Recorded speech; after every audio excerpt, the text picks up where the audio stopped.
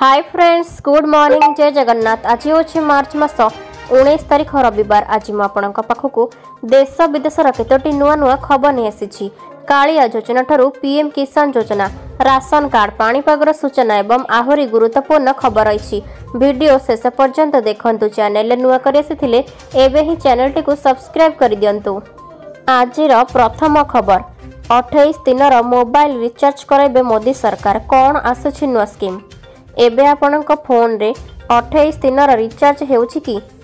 ତେବେ ଏହି ଖବରର ସତ୍ୟତାକୁ ନେଇ ଫ୍ୟାକ୍ଟ ଚେକ୍ କରିଛି ପିଆଇବି ତେବେ ପରେ ଟ୍ୱିଟ୍ କରି ପିଆଇବି ଏହାର ପ୍ରକୃତ ସତ୍ୟତା ପଦାକୁ ଆଣିଛି। ଏହି ଟ୍ୱିଟ୍ରେ ପିଆଇବି ସ୍ପଷ୍ଟ କରିଛି ଯେ ହ୍ୱାଟ୍ସଆପ୍ରେ ଏକ ମେସେଜ ଭାଇରାଲ ହେବାରେ ଲାଗିଛି। ଏହି ଭିଡିଓରେ କୁହାଯାଇଛି ଯେ କେନ୍ଦ୍ର ସରକାରଙ୍କ ଦ୍ୱାରା ଫ୍ରି ମୋବାଇଲ ରିଚାର୍ଜ ଯୋଜନା ଅଧୀନରେ ସମସ୍ତ ଭାରତୀୟ ୟୁଜର୍ସକୁ ଅଠେଇଶ ଦିନର ରିଚାର୍ଜ ମାଗଣାରେ ପ୍ରଦାନ କରାଯାଉଥିବା ନେଇ ଭିଡିଓରେ ଦାବି ହୋଇଛି। ତେବେ ଫ୍ୟାକ୍ଟ ଚେକ୍ ପରେ ଏହି ଭିଡିଓକୁ ନକଲି ବୋଲି ସ୍ପଷ୍ଟ କରିଛି ପିଆଇବି। କେନ୍ଦ୍ର ସରକାରଙ୍କ ଦ୍ୱାରା ଏମିତି କୌଣସି ଯୋଜନା ପ୍ରଣୟନ କରାଯାଇ ନାହିଁ ବୋଲି ଜଣାପଡ଼ିଛି। ତେଣୁ ଏହି ପ୍ରକାର ମେସେଜଗୁଡ଼ିକୁ ଅନ୍ୟମାନଙ୍କ ସହ ସେୟାର ନ କରିବାକୁ କେନ୍ଦ୍ର ସରକାର ପରାମର୍ଶ ପରବର୍ତ୍ତୀ ଖବର। ଦୁଇ ହଜାର ତେଇଶରୁ ଚବିଶ ଆର୍ଥିକ ବର୍ଷରେ ତିଆରି ହେବ ତିନି ହଜାର କିଲୋମିଟର ସଡ଼କ। ଖୁବ୍ ଶୀଘ୍ର ଆରମ୍ଭ ହେବ ବିଜୁ ଏକ୍ସପ୍ରେସ୍ ୱେ ଟୁ।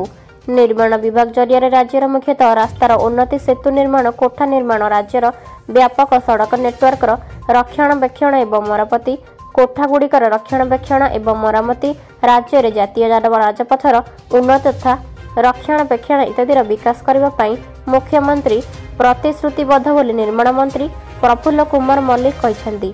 ଆଜି ଗୀତା ଗୋବିନ୍ଦ ସଦନଠାରେ ଆୟୋଜିତ ବଜେଟ୍ ଦୁଇହଜାର ତେଇଶରୁ ଚବିଶ ସମ୍ପର୍କିତ ସାମ୍ବାଦିକ ସମ୍ମିଳନୀରେ ମନ୍ତ୍ରୀ ଶ୍ରୀ ମଲ୍ଲିକ କହିଛନ୍ତି ଯେ ରାଜ୍ୟରେ ଦୁଇହଜାର ତେଇଶରୁ ଚବିଶ ଆର୍ଥିକ ବର୍ଷରେ ସଡ଼କ ବିକାଶ କାର୍ଯ୍ୟକ୍ରମ ଅଧୀନରେ ତିନି ହଜାର କିଲୋମିଟର ସଡ଼କ ନଅ ଗୋଟି ମୁଖ୍ୟ ସେତୁର ଉନ୍ନତୀକରଣ ପାଇଁ ଚାରି ହଜାର ଛଅଶହ କୋଟି ଟଙ୍କା ବ୍ୟୟ ବରାଦ କରାଯାଇଛି ଯାହା ଦୁଇହଜାର ବାଇଶରୁ ତେଇଶ ଆର୍ଥିକ ବର୍ଷରେ ଅଠରଶହ ନବେ କୋଟି ଥିଲା।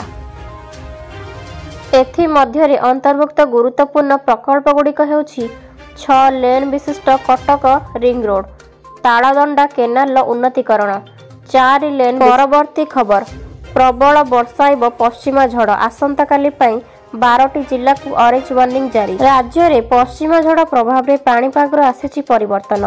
ଏହା ପ୍ରଭାବରେ ରାଜ୍ୟର କେତେକ ସ୍ଥାନରେ ବର୍ଷା ଜାରି ରହିଛି। ଏପରିକି କେତେକ ସ୍ଥାନରେ କୁଆପଥର ବର୍ଷା ମଧ୍ୟ ହୋଇଛି। ଆଞ୍ଚଳିକ ପାଣିପାଗ ବିଭାଗ ପକ୍ଷରୁ ଉଣେଇଶ ତାରିଖ ପାଇଁ କେତେକ ଜିଲ୍ଲାକୁ ଅରେଞ୍ଜ ୱାର୍ଣ୍ଣିଂ ଜାରି କରାଯାଇଛି।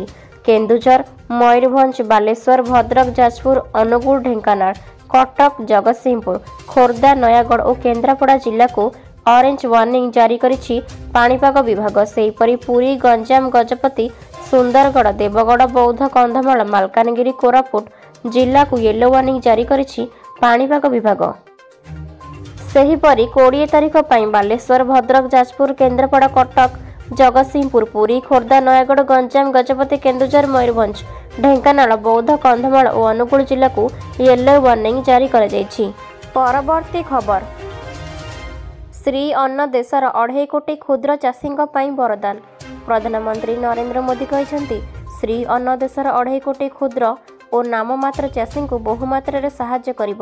ଏହାଦ୍ୱାରା ଗ୍ରାମୀଣ ଅର୍ଥନୀତି ସୁଦୃଢ଼ ହେବ ବୋଲି ପ୍ରଧାନମନ୍ତ୍ରୀ ଦୃଢ଼ୋକ୍ତି ପ୍ରକାଶ କରିଛନ୍ତି। ଶ୍ରୀ ଅନ୍ନ କେବଳ ଖାଦ୍ୟ ଓ କୃଷି ମଧ୍ୟରେ ସୀମିତ ନୁହେଁ ଦେଶର ବିକାଶ ପାଇଁ ଏହା ଏକ ଗୁରୁତ୍ୱପୂର୍ଣ୍ଣ ମାଧ୍ୟମ। ବିଶ୍ୱ ଶ୍ରୀ ଅନ୍ନ ସମ୍ମିଳନୀର ଉଦ୍ଘାଟନୀ ଉତ୍ସବରେ ଉଦ୍ବୋଧନ ଦେଇ ପ୍ରଧାନମନ୍ତ୍ରୀ କହିଛନ୍ତି ଭାରତର ମିଲେଟ୍ ମିଶନ ଚାଷୀମାନଙ୍କ ପାଇଁ ବରଦାନ ସଦୃଶ। ଜାତିସଂଘ ଦୁଇହଜାର ତେଇଶକୁ ଆନ୍ତର୍ଜାତିକ ମିଲେଟ୍ ବର୍ଷ ଘୋଷଣା କରିଥିବାରୁ ସେ ଗୌରବ ଅନୁଭବ କରିଥିବା କହିଛନ୍ତି। ଏଥିପାଇଁ ଭାରତ ପ୍ରସ୍ତାବ ଦେଇଥିଲା। ମିଲେଟ୍ସ ଜାତୀୟ ଶସ୍ୟର ସୁଗୁଣ ବିଷୟରେ ଉଲ୍ଲେଖ କରି ଶ୍ରୀ ମୋଦି କହିଛନ୍ତି ଏହା ଲୋକମାନଙ୍କର ସ୍ୱାସ୍ଥ୍ୟରେ ଉନ୍ନତି ଆଣିବା ସହ ମୃତ୍ତିକାର ଉର୍ବରତାକୁ ନଷ୍ଟ ହେବାକୁ ଦିଏ ନାହିଁ ଓ ଏହାର ପରବର୍ତ୍ତୀ ଖବର। ନ୍ୟୁ ଟ୍ରାଫିକ୍ ରୁଲ୍ ବାଇକ୍ ଚାଳକ ସାବଧାନ। ହେଲମେଟ୍ ପିନ୍ଧିଥିଲେ ବି ଦେବାକୁ ପଡ଼ିପାରେ ଦୁଇ ହଜାର ଟଙ୍କାର ଫାଇନ୍। ଯଦିଓ ଆପଣ ହେଲମେଟ୍ ପିନ୍ଧି ନିୟମ ପାଳନ କରନ୍ତି ତଥାପି ଗୋଟିଏ ଦିଗ ପ୍ରତି ସଚେତନ ନହେଲେ ଆପଣଙ୍କୁ ଦୁଇ ହଜାର ଟଙ୍କା ଫାଇନ୍ ଦେବାକୁ ପଡ଼ିବ। ଯଦି ଆପଣ କାର୍ କିମ୍ବା ବାଇକ୍ ସହିତ ବାହାରକୁ ଯାଉଛନ୍ତି ତେବେ ଏହି ଖବର ଆପଣଙ୍କ ପାଇଁ ଗୁରୁତ୍ୱପୂର୍ଣ୍ଣ। ଯଦି ଆପଣ ଏହି ନିୟମ ନ ମାନିବେ ଆପଣଙ୍କୁ ଦୁଇ ହଜାର ଜୋରିମାନା ଦେବାକୁ ପଡ଼ିପାରେ। ଟ୍ରାଫିକ୍ ନିୟନ୍ତ୍ରଣ ପାଇଁ ପୋଲିସ ଏବଂ କର୍ତ୍ତୃପକ୍ଷ ଅନେକ ନୂଆ ନିୟମ ପ୍ରଣୟନ କରୁଛନ୍ତି। ଧାରା ଉଣେଇଶ ଫୋର୍ ଡି ଏମ୍ ଭି ଅନୁସାରେ ଆପଣ ହେଲମେଟ୍ ପିନ୍ଧିଥିଲେ ବି ଯଦି ଠିକ୍ରେ ଲକ୍ କରିନାହାନ୍ତି ତାହେଲେ ହଜାର ଟଙ୍କାର ଫାଇନ୍ ଦେବାକୁ ପଡ଼ିବ। ବିଆଇଏସ୍ ପଞ୍ଜୀକୃତ ହେଲମେଟ୍ ବାଧ୍ୟତାମୂଳକ ଅଟେ। ଅନ୍ୟଥା ଆଇନଗତ କାର୍ଯ୍ୟାନୁଷ୍ଠାନ ଗ୍ରହଣ କରାଯିବ ଏବଂ ଏକ ହଜାର ଟଙ୍କା ଜୋରିମାନା ଦେବାକୁ ପଡ଼ିବ। ଆଉ ମୋଟ ଜୋରିମାନା ଦୁଇ ହଜାର ଟଙ୍କା ହୋଇପାରେ। ବାଇକ୍ର ଗତି ଘଣ୍ଟା ପ୍ରତି ଚାଳିଶ କିଲୋମିଟରରୁ ଅଧିକ ହେଲେ ମଧ୍ୟ ସେମାନଙ୍କୁ ହଜାର ଟଙ୍କା ଜୋରିମାନା ଦେବାକୁ ପଡ଼ିବ। ଏହାଛଡ଼ା ତିନି ମାସ ପର୍ଯ୍ୟନ୍ତ ଲାଇସେନ୍ସ ରଦ୍ଦ କରାଯାଇପାରେ। ଟ୍ରାଫିକ୍ ପରିଚାଳନାକୁ ସହଜ କରିବା ପାଇଁ କେତେକ ରାଜ୍ୟରେ ହ୍ୱାଟ୍ସଆପ୍ରେ ଚାଲାଣ ପଠାଯାଉଛନ୍ତି।